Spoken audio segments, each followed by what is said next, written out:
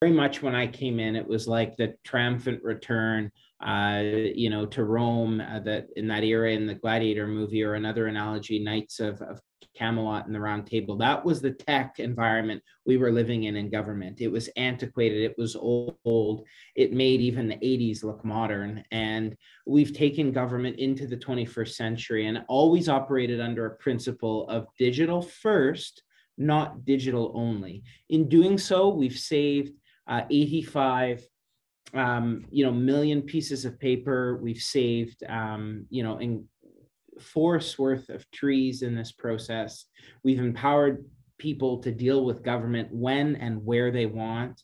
Uh, shift workers not worrying about having to take a day off to go and do this because they work uh, during the day or uh, you know they're working at night and they're sleeping during the day. We've empowered people to do interact with government when and where they want